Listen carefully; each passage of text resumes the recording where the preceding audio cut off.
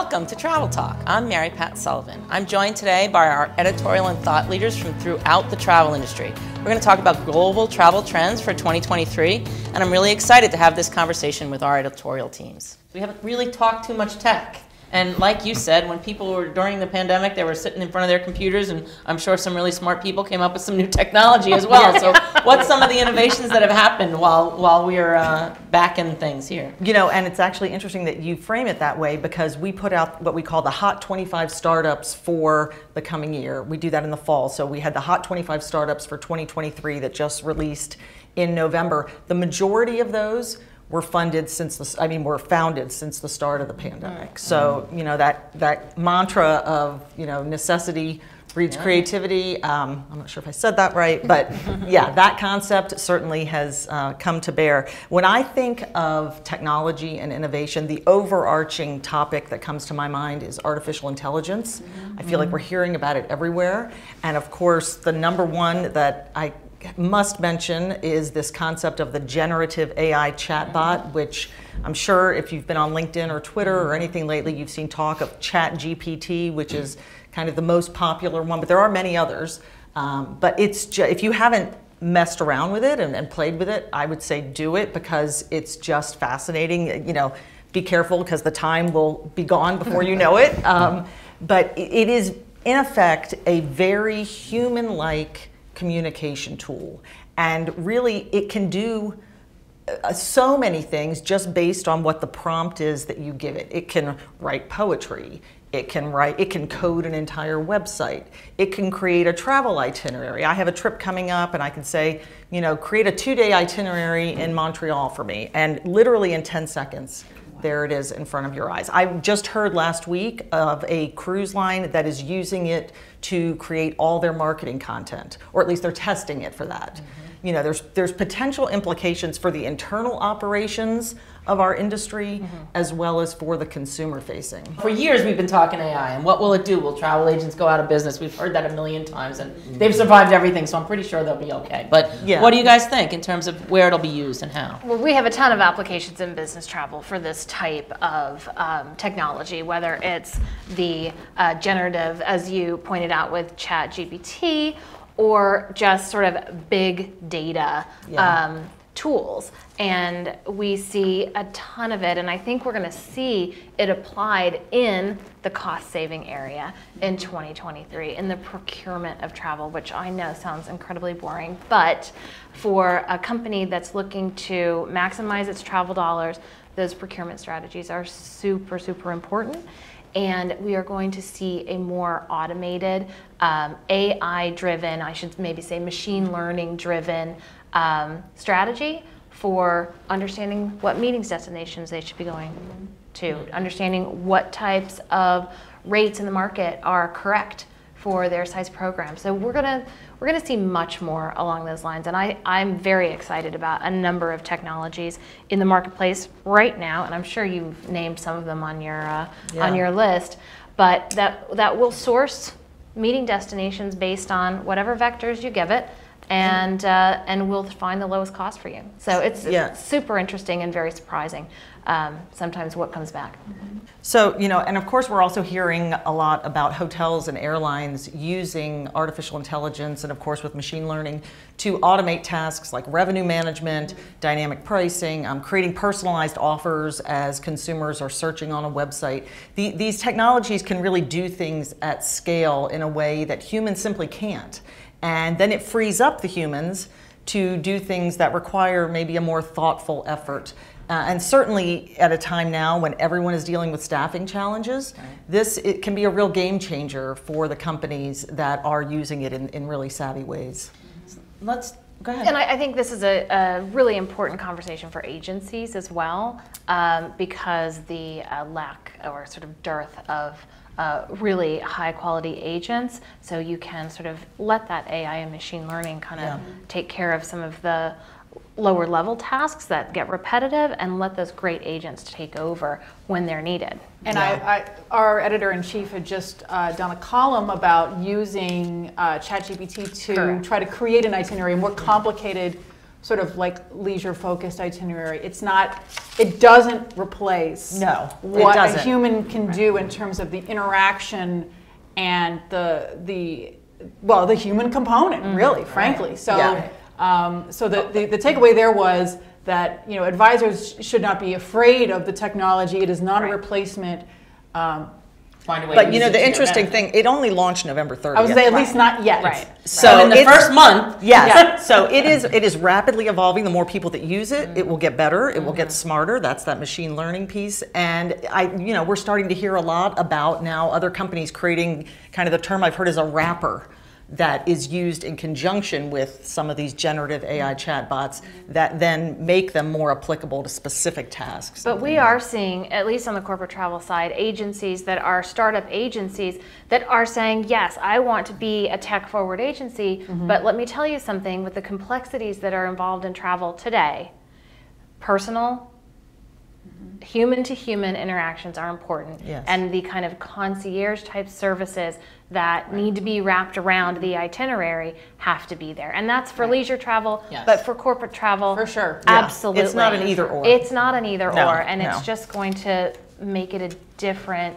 hopefully, more personalized experience for everyone rather than just the few who can afford it. That's Yeah. I, I do like for. that vision of it. Yeah. And, and since it's only since November 30th, we'll see where it Yes, goes. exactly. But some of what you just discussed, I kind of want to take into the meetings in the Mm. sports world a little bit because um, when you think about a destination being chosen through an AI Mm-hmm. capacity, Right. so are they looking at things like metaverse to promote the destinations? And I, this is all new to me, but let's talk about the metaverse and where it fits. Yeah. So I actually I just talked to um, a technology expert, Nick Borelli, last week, and he thinks it's really 2024 that we're going to see more application. I mean, you know, there's so many tools, the AI tools that that allow um, virtual reality to more closely mirror reality.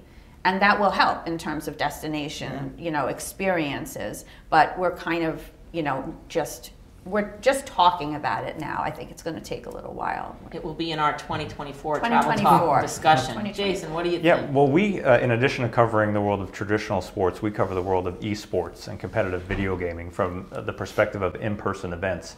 And I think there we're going to see opportunities, uh, particularly for destination marketing, around uh, you can drop in not just hints or advertisements. In some cases, I was at a uh, competitive esports event in Toronto over the summer. They were playing Overwatch, and one of the rounds of this game, they were competing on the streets, the virtual streets of Toronto. And yes, they were kind of shooting each other up, but nonetheless, my 12 year old son and his friends, if they saw that, that's how they're going to get exposed to downtown Toronto. It's not going to be from some other form of marketing or advertising. It's going to be in the game environment.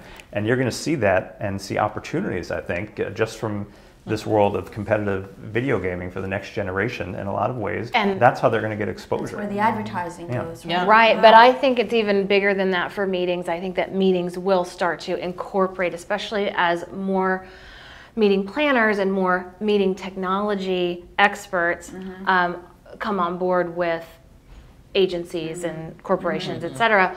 They are going to start to create these experiences for their hybrid Right, meetings right. that are so much more immersive than sort of click here so you can go, you know, watch mm-hmm. this Zoom. Right. Which You know, is so important because the hybrid Exactly. audience right now is getting lost for the most part. Totally, yes. Myself Because they're not really engaged in It's the not, experience. it's not Right. immersive I enough, mean, if right? I if I sign up to participate remotely, you know, invariably I'm distracted by something else, Right. and it's running, Right. and I'm not really listening, and you know. But to engage that audience is a big challenge right now. So I think that that And I think we have much to learn from the Yeah. esports. Uh, definitely. Ver- I think you'll vertical see in that, yeah. I think you'll see cruise lines trying to figure out how to get into that esports Well, we're already seeing it. There are hotels and resorts that are developing esports components of their resorts, There's something for the kids to Oh do and something Yeah. for the parents to do. Mad right, game, right, mad right, game on the top well. of a ship, right? Yeah, but yeah, but I, it's, hotel it's not brands just are children. developing- yeah. There's a lot of adults playing these games. Sure, So that's this why you're is seeing right. uh, brands Right. like Atari coming back with a hotel chain, Yeah, and it is yeah, is yeah. uh, Yeah. entirely esports Yeah, that sounds fun. Good lord. I did hear I'd about say that. something really quick Yeah. Because I was just looking this up in 20 in 2001. I wrote an article about the wireless craze, mm. and I was talking about handheld devices and cellular phones are expected to sell like hotcakes over the next few years. and then in, I also said that you know of these new devices, a, a phone slash personal, what's PDA? Personal digital assistant? Yes, yeah, yes. yeah. It's like a BlackBerry. a phone slash PDA, and it said, BlackBerry. still, it's too early to tell if these hybrid devices will be a success. so what's, what's the message here for us then? 2001. Welcome to reality. So that's why you're a tech billionaire today. Exactly. So would you like me to ask all of you to make predictions now for what happened in 2035 It's still something? too early to see if there'll be a success, That's but I think that that So- is, you know, you With a lot of promise. It, Uh, I'm really glad to hear you thought it might work. Just tell us. So yeah. let's take one more text topic before we wrap because I think this is important. So, and I, I don't know enough about this. I'm going to throw it out and let you talk. But fintech and payments, I mean, this is a big change in our segments. Yeah. So, can you talk a little bit about that? I'm going to let you start, Mitra, because Yes. I know that you know a little bit more about the re, sort of the retail aspect of it, and I'm more niche with how travel managers are using different types of payments. Yeah, so I'll just mention a few things that come to mind when I think about it. It absolutely is big. It's kind of been what everybody's been talking about. There's been a lot of funding to some of these companies. Um, the overarching concept of embedded finance is something that is really taking off, and that's the idea of more and more financial products embedded into travel apps, travel websites. You know, now it's not uncommon. You see Apple Pay, you see Google Pay, you might see a cryptocurrency option. So all of that has taken off. Something um, that I'm sure you've heard of, the buy now, pay later concept has really become popular in the last couple of years. There are risks involved in that. There's questions about, you know, unsustainable debt that people may be taking on. An interesting twist on that that we're now hearing more of is save now, buy later.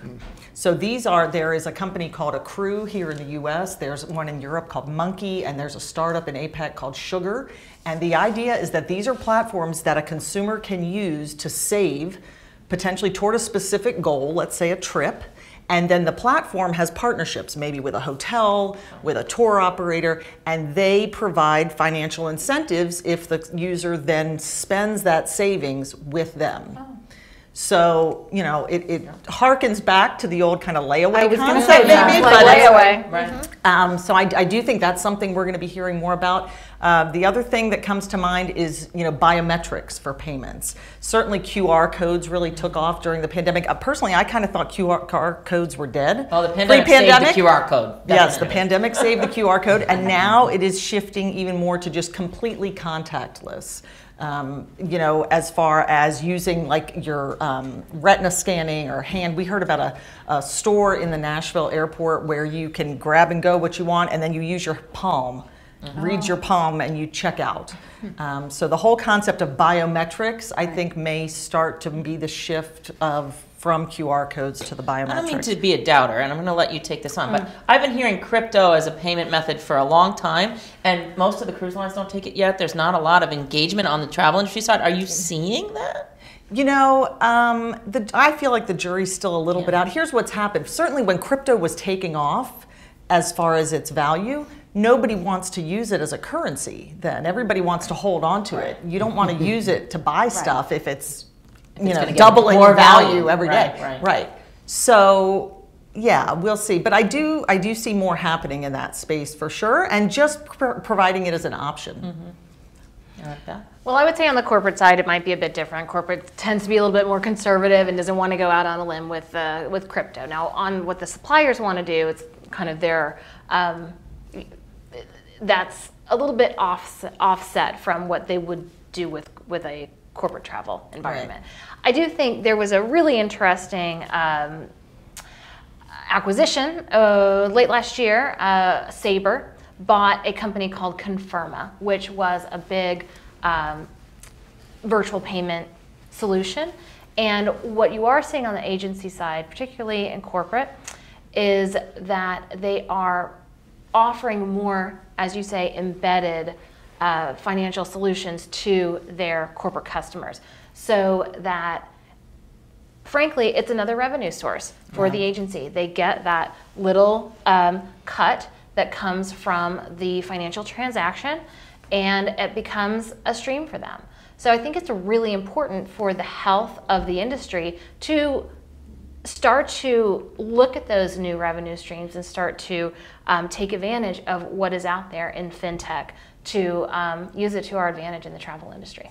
And you know, the other thing that I would add on the fintech topic is that we have to talk about the products that have emerged to provide some assurance and to help with the risk of delays and cancellations, which of course, you know, was the topic of the last couple of years. Um, according to PhocusWire's research, U.S. consumers, 62% say that delays and disruptions are a key concern when they're planning their travel, and nearly half are open to paying to protect their trips. And so that's where we're seeing the growth. You know, certainly the brand that's gotten a lot of buzz is Hopper in this space. They've got all these, you know, cancel for any reason, price freeze. Um, you can book a, a short term rental and leave if you get there and it doesn't meet your expectations, and they will compensate you or rebook uh, your stay. So we're seeing a real interest in those types of fintech products, and it's potentially a whole new revenue source for the companies that offer it. You know, it's it's not just booking that trip, but now there's that extra spend to provide some of this insur- assurance. We saw that on the retail side, the growth of insurance as Right. a, a mm-hmm. financial benefit to the travel agency community and as a necessity now. Yeah, right? talk mm-hmm. about things that probably are not going to mm. change. Yeah, that, Right, that's not going away. Yeah. People are going to book insurance with these trips from now on, right? Yeah, absolutely. And I think it kind of goes back to something that actually we talked about earlier in terms of this is a stretch, but like when you're booking your um, your tours and activities online, people are traveling now and they are they are they are planning the whole thing out and they don't want to leave anything to chance. Yeah. Right. So, uh, you know, it's like going to Disney World. You know, when you go to Walt Disney World, you have a plan for every day. You know the rides. You've got your, you know, you've got a strategy, and that's how people approach travel nowadays. And I think these products help people with peace of mind in terms of their investment. I mean, it's not a small ticket to book travel, and you want to make sure this. And you're going with your maybe you're going with your extended family now, and you've got ten people to provide for. What are we doing on day two? What are we doing on day three? Let's figure it out. Let's make and so there's all it's, it's all part of the same thing, right? Travel mm-hmm. advisors are like working to plan the whole thing out. You've got products that will help protect your investment to the extent that you can protect against you know disruptions, which Yes. you mm-hmm. know uh, mm-hmm. you you can't always. Um, and you have this new technology that will that will facilitate those incremental you know restaurant reservations online where we're going to have dinner. Right. Mm-hmm. I mean, it's just it's so it's so specific. Yeah. Mm-hmm. Um, and the tools are making that happen. Yeah, mm-hmm. yeah, yeah. All right, thank you for joining us. This has been Mary Pat Sullivan. I've been so grateful to have all of our editorial leaders joining us today to have this conversation. Join us again soon.